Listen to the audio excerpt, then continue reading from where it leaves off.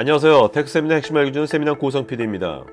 작년 10월에 일어난 카카오 장애 사태는 데이터의 신속한 복구가 지금 같은 디지털 경제 시대에 필수 요소라는 것을 절실히 느끼게 해주었습니다.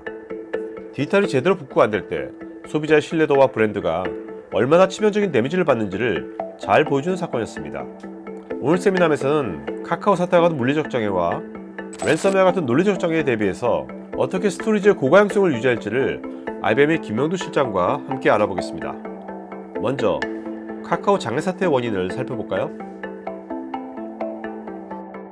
작년 10월 달로 기억이 되는데 카카오 솔루션 네. 이 카카오 데이터 센터가 이제 화재로 인해서 음. 어떤 거는 몇 시간, 어떤 솔, 그렇죠. 솔루션 뭐 며칠 걸린 경우도 맞아요. 복구에 며칠 네. 걸린 경우도 실제로 있었습니다. 그래서 좌측에 보시는 대로 카카오 내부적으로 이제 원인 분석에 대한 이 티어를 둬서 실제로 원인 분석을 해봤어요. 아 지금 이 장표는 예. 그 실장님께서 기사 보고 신문 기사 보고 게시해서 어, 만든 게 아닙니다, 아니라 아닙니다. 예. 카카오에서 예, 발표한 예. 카카오 내부적으로 네, 이제 오케이. 이렇게 예, 정리를 했는데 두 가지예요. 가장 큰 게 이중화 부재. 뭐 이중화를 한다고 하긴 했는데 어떤 건 했는데 어떤 건 안 한 것도 있고 이제 이런 부분들이 있고 더 중요한 거는 이런 것들에 대한 관리와 모니터링. 그러니까 이- 어, 이 이중화를 했을 때 이제 이걸 넘기는 툴들, 관리, 어, 음, 이제 문제가 생겼네, 넘기자, 네. 이런 것, 툴들이 별도로 필요한데, 이런 것들이 없는 경우도 있었다라는 게 이제 첫 번째 이유였고. 아마 이중화에 대한 정책 같은 것도 잘 예, 예, 예, 없었을 맞습니다, 것 같아요. 맞습니다. 그게 어. 사실 가장 중요한 네. 거죠. 이제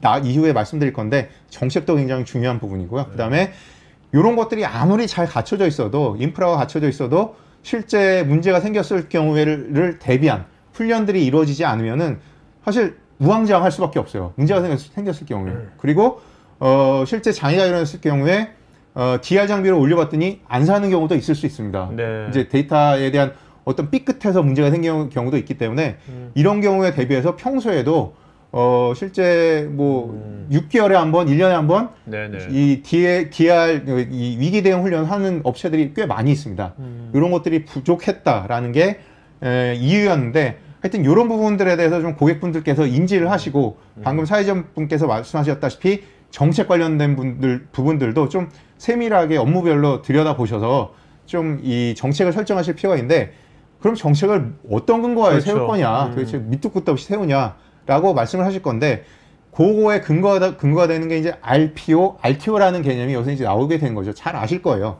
Recovery Point Object, Recovery Time Object. 과연 장애가 났을 때 우리가 어, 백업 받은 어느 시점까지 복구할 네. 수 있는지, 어. 그다음에 이 얼마나 장애가 빨리. 난, 그렇죠. 얼마나 빨리 할 수 있는지. 이게 이제 RTO라는 개념이죠. 도대체 10분 내에 할 수 있는 건지, 10시간이 걸릴 건지. 이게 이제 에, RTO, RPO라는 개념인데, 이게 결국은 어떤 것과 관련이 있느냐라고 보시면은 장애가 일어났을 때, disaster라고 하는 장애가 일어났을 때, 고객분들이 바라는 것은 이 장애에 가장 근접된 시간으로 RPO와 RPO를 맞추려고 하는 게 사실은 가장 큰 바램들이 있어요. 그렇죠. 근데 이게 어느 것과 직관이 되느냐면 돈하고 돈하고 직관이 됩니다. 돈과 직관이 되기 때문에 모든 업무를 다 이 장애와 가- 근접된 시간으로 맞추라라고 말씀드리질 못해요. 이거를 분류를 해서 어, 계층화해서 이렇게 어떤 거는 1시간, 어떤 거는 10분, 어떤 거는 하루. 그렇죠. 예. 네. 이런 것들을 이제 평소에 이런 것들 우선순위가 있는 거니까. 맞습니다. 다. 여기서 잠깐 장애에 대한 대안으로 언급되고 있는 DR, Disaster Recovery, 그리고 고가형성, High Availability의 차이를 한번 알아보겠습니다. DR은 재복구라는 명확한 욕구, 용어가 있고 음. 사실 에, 이 high availability는 밑에 나와 있지만 active active active 음. active 솔루션 active active 데이터, 센터. 뭐 이런 식으로 어. 용어를 좀 정리를 하고 있고요. DR 같은 경우에 뭐 동기식 비동기식 이런 게 있고요. 그다음에 그걸 확장하면 3 사이트까지 음. 갈수 있고 그다음에 in-house 또는 원격지 이렇게 DR 솔루션을 구현을 할 수가 있고 이 경우에는 이제 장애가 나오면 수동으로 복구를 하게 되죠. 음. 관리자가 인지를 하고 아 이게 죽었네라고 이제 이 스탠바이 시스템으로 active standby에서 스탠바이 시스템으로 넘기는 그런 과정들이 필요합니다. 네. 근데 high availability는 어, 이 업무 무중단이 음. 기본적으로 목표인 거고요. active active 솔루션을 사용하고 있다라고 이렇게 사용하시면 되고 이게 자동 failover가 일어난다. failover failback이 일, 그러니까 이- 만약에 장애가 된다. 일어나더라도 그러니까 사, 람은 인식하지 못하도 또 알아서들 알아서 그렇죠, 한다는 그렇죠. 거죠. 그렇죠. 음. 그리고 어. 일반적으로 이제 두 시스템 간의 어떤 그 데이터 복, 그, 이, 이 동기화 때문에, 어. 동기화의 latency 때문에 거리가 먼, 경- 먼 경우에 좀 지양하는 경우가 있고, 근거리인 경우에 좀 사용하는 그런 어, 솔루션이라고 이해- 이해를 하시면 될 것 같아요. 앞에서 동기식 그리고 비동기식 이런 단어가 나왔는데 항상 들어왔던 단어들이지만 오늘 세미남에서 확실하게 개념을 구분해 보겠습니다. 싱크 방식은 서버가 IO를 이제 이 주 storage에 저장을 하라고 명령을 내리지 않습니까? 음. 그러면은 sync예요. 네. 이 DR 솔루션 그 storage에도 같이 쓰고 와야지 음. IO가 한 사이클이 아, 끝나는 네, 겁니다. 아, 이 경우에는 아이 그 데이터의 정합성이 정확히 맞죠. 그렇겠죠. 다 네. 달라질 수가 없죠. 대신 먼 거리에는 하기 좀 부담스럽습니다. 이 왔, 갔다 왔다 하는 그렇죠. 게 네, 네. 의외로 좀 이 latency가 수 응답이 있어요. 늦- 늦으면 또 이거 예, 이게 지연이 일어날 수가 그렇죠. 있어요. 네. 그래서 어. 이거는 쉽게 말씀드리면은 RPO는 제로입니다. 아 그래서 싱크 방식 metro라고 예, 예, 예, 예. 그 async를 global이라고 예, 예, 예, 했구나. 맞습니다. 아, 이게 RPO는 제로고요. 네. RTO는 그 상대적으로 좀 빨리 복구할 수 있어요. 데이터의 네, 정합성이 네, 맞기 네. 때문에 이런 특징을 갖고 있- 갖고 있고요. 그다음에 async 방식은 서버가 storage에 예, 메인 storage에 써라고 했을 때 IO를 예, 이 지- 지지했을 그 이 지시했을 때 메인 storage에서 DR storage로는 이 메인 storage의 관장하에 어떤 네. 그이뭐이 time interval이라든지 요 관장하에 얘가 시간 남을 때 이제 쭉쭉 보내는 거예요. 그냥 딱 보내고 끝나는 거죠. 예. 그러니까 서버에서 네, 이제 네, 메인 storage까지의 IO만 끝나면 끝나는 겁니다. 음, 그래서, 그래서, overhead가 최소화되는 거고요. 예, overhead가 네. 최소화돼서 이 서버의 이 영향력은 제일 적은 솔루션인데 문제는 메인 스토리지의 DR 스토리지로 모든 데이터가 다 실시간으로 넘어가라는 보장은 없습니다. 음. 여기 장애가 일어났을 때 약간의 아, 네. 데이터 유실이 있을 수가 있어요. 그래서 RPO가 수초에서 수분이 일어날 수가 있고요. RTO는 요 상황에 따라서 이제 운 좋게 음. IO가 없어도 이제 다 넘어가서 RPO가 다 맞았다라고 하면은 RPO, 그러니까 recovery가 굉장히 빨리 일어날 수 있는 가능성이 있- 있고요. 그 다음에 그게 아니라 이제 그 이 데이터가 가고 나서 바로 네. 장애가 나, 이, 난 상황이라고 하면은 좀 수분의 이 RPO 상황이 발생할 수도 있거든요. 이 경우에는 데이터를 복구하는 이, 이 프로세서가 들어가서 좀 RTO가 좀 늘어날 수도 있어요. 네네. 이런 특징을 갖고 있고 이런 거를 기반으로 어, RPO와 RTO를 좀 산정을 하셔가지고 좀그 진행하실 정책을 진행하실 필요가 있습니다. 카카오 사태와 같은 물리적 장애가 발생했을 때 복구가 중요한 데이터들을 IBM은 어떻게 동기식으로 복구하는지 알아보겠습니다. 이게 이제 high avail, availability 영역에 속하는 active active. 저희는 HyperSwap이라고 명명을 합니다. 이 솔루션 이름이고요. 뭐 실제로 보기엔 DR하고 똑같습니다. 다른 네. 게 없어요. 뭐 storage 두 대 있고 뭐 quorum device라는 게 있긴 한데 어, storage devi- device 두 개 있고 어, 어떻게 보면은 뭐 싱크 방식의 뭐 이 저게 동일한 규격의 storage여야 됩니까? 예? 어, 권장을 그렇게 합니다. 아, 뭐 네. 다른 게 되긴 하는데 네. 어, 다를 경우에 이제 이, 이 스펙이 낮은 storage에 이제 성능이 맞춰질 수 있기 때문에 음. 어, 저희는 동일한 규격을 권고를 드리고요. IBM 해야 되죠. 둘 다 IBM. 당연합니다.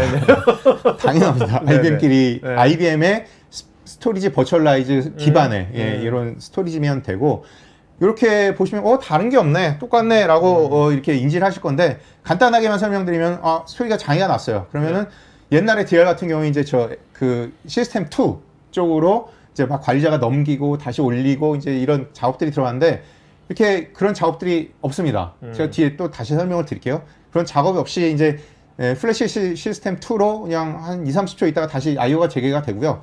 그 다음에 시스템 1을 뭐 하여튼 하드웨어적으로 복구를 했어요. 다시 복구가 돼서 다시 운행할 준비가 되면은 그냥 다시 이, 이 제품 이 HyperSwap 예, cluster로 들어가서 음. 어, IO가 재개되면서 자기들끼리 싱크 맞추고 다시 active active로 이렇게 구성되는 쉽게 말씀드리면 관리자 개입 없이 이렇게 진행되는 솔루션, 솔루션이다라고 이렇게 이해를 해주시면 될 것 같습니다. 실제 20여 고객사에서 이미 구축을 아, 하고 네. 계세요. 이제 음. 20여 고객사에서 음, 20여 고객사라는 게 특정 고객군에 이렇게 몰려 있는 게 아니라 뭐 제조, 뭐 금융, 그다음에 이 병원, 공공 이런 쪽 굉장히 다양하게 여러 군데서 사용을 하고 있고요. 실제 제가 이 구성도를 하나 아, 그려봤는데요. 여기 병원 쪽에서 어, 네. 메인 전산실하고 DR 전산실 한 4, 500m 거리 정도 되는데 실제 HyperSwap을 구성을 해서 음. 예전에는 DR을 async 방식으로 구현을 해서 쓰고 계셨는데 HyperSwap이라는 걸 사용을 해서 뭐 하여튼 이 업무 간에 중단 없이 네. 구성할 수 있는 음. 여건을 마련했다라고 이렇게 보시면 될 것 같습니다. 랜섬웨어 같은 사이버 공격이 일상화된 디지털 경제에서 논리적 장애에 대해서 IBM storage가 갖고 있는 대안을 살펴보겠습니다. IBM Safeguarded 가- Copy라는 게 이제 작년에 에, 작년 말에 출시가 됐고요.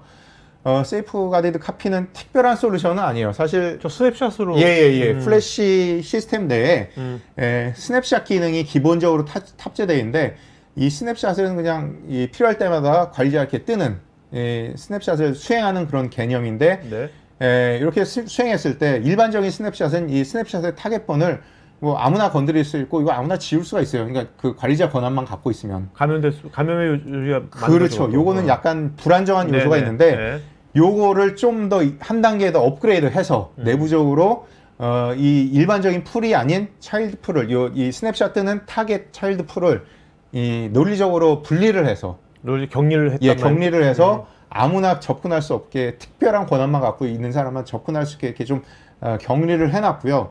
이렇게 해서 저기 중간에 보이다시피 에어갭 보호를 네. 한 그런 솔루션이고요. 음. 그다음에 맨 밑에 있는 그 문구가 가장 중요한데 fast 복구적인 측면에서 봤을 때 굉장히 빠르다는 거예요. 그러니까 예를 들면은 물리적으로 백업 받아놓거나 물리적으로 이제 DR을 떠놓은 경우에 물론 물리적으로 DR 떠놓은 경우에 이제 이 논리적인 장애 대응이 안 됩니다만은 음. 물리적인 백업을 받았을 때 어, 예- 예를 들어 랜섬웨어를 랜섬웨어가 걸렸다라고 가정을 하면은 이, 이 백업본은 이제 계속 복구하면서 어디까지 clear한 gold copy인지 이걸 찾아내야 되는 그런 네네. 그 절차가 반드시 필요하거든요.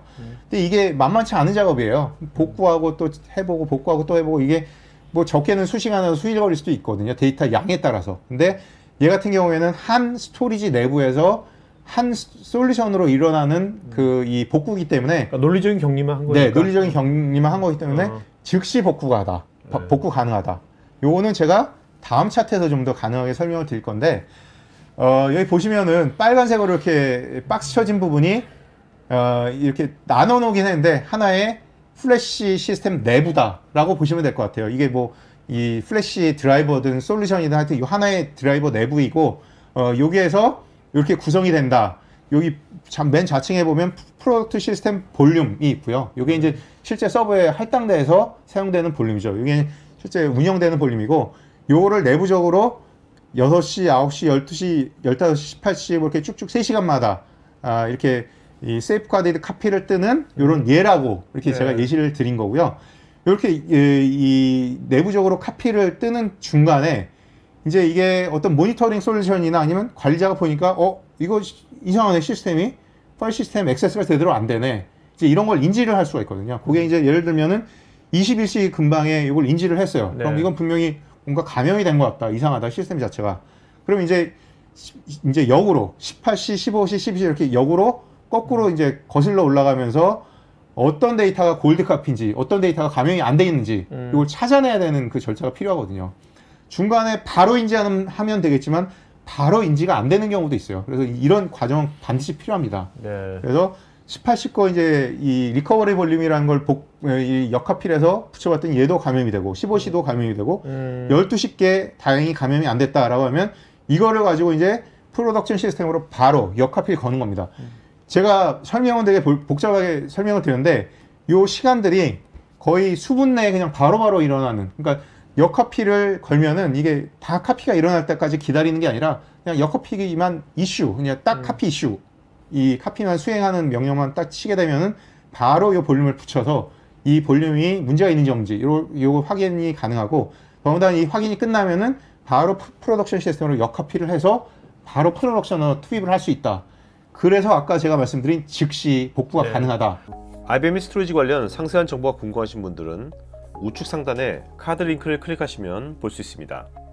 지금까지 살펴본 물리적 장애에 대한 active active HyperSwap이나 논리적 장애에 대한 논리적 격리 공간 스냅샷 같은 기능들은 결국 storage OS의 기술력에서 나오게 되는 것인데 세계 최초로 플래시와 NVMe를 지원했던 IBM 스토리지 폼웨어인 스토리지 버추얼라이저를 살펴보겠습니다. 차트에서 보시면은 맨 좌측에 보시면 사실은 3.x라는 버전의 2003년부터 시작이 됐어요. 굉장히 20년 전이죠. 20년 네네. 전에 시작이 됐는데 에, 요게 이제 20년간 계속 그 이 변화의 변화를 거듭하면서 업그레이드를 그 가져왔는데 turning point가 이렇게 제가 박스를 쳐놓은 이제 그 두 가지가 있는데 하나가 2015년 음. 이게 어떤 turning point냐면 요 firmware를 탑재한 all flash system을 IBM이 storage 업계에서 최초로 출시를 했습니다. 어, 네. 이건 뭐 찾아보시면 아세요. 기사 찾아보시면 아는데 다른 업체보다 제일 먼저 출시를 해서 2015년에 출시를 했고 어, all flash라는 개념이 그때부터 이제 차- 점차 점차 이제 고객분 이제 분들 마음에 이제 자리 잡게 되었고요. 그다음에 3년 후 2018년도에 또또 다른 turning point가 나왔는데 요때 NVMe라는 기술이 NVMe도 처음 한 거예요? 예, 어. 맞습니다. 이게 원래는 NVMe 이전에는 SAS 기반의 이제 네네, 그 그렇죠. 플래시를 썼었는데 네네. NVMe 기반의 에, 플래시 시스템 최초 출시한 게 2018년 IBM입니다. 어, 그래서 어. 이것도 뭐 찾아보시면 압니다. 저 네네. 거짓말은 할 수가 없기 네네. 때문에 네. 그걸 찾아보시면 될 것 같고 그 이전과 이후에 이제 중간 중간에 이제 퍼포먼스, 뭐 data resiliency 이런. 성능, 기능 음. 관련해서 이제 계속적으로 업그레이드가 돼서 지금까지 8.0대까지 유지가 되고 있다라고 이해를 해주시면 될 것 같습니다. 오늘 세미나의 게스트인 IBM의 김영도 실장과 상담이 필요하신 분들은 하단의 메일로 문의하시면 됩니다. 여러분의 고객들에게 어필하는 유튜브 컨텐츠를 만들고 싶으시면 우측 상단 링크를 클릭하셔서 다양한 포트폴리오를 구경해 보십시오. 여기 왼쪽에 관련 영상이 있으니 클릭해 보세요. 제가 진행하는 테크 전문 방송 토크아이티에서 하는 토크형 webinar에 한번 참여해 보시면 어떨까요? 구글에서 한글로 토크아이티 치시거나 우측 상단 링크를 클릭하시면 됩니다. 여러분의 좋아요와 구독은 지속적인 컨텐츠 제작에 큰 힘이 됩니다.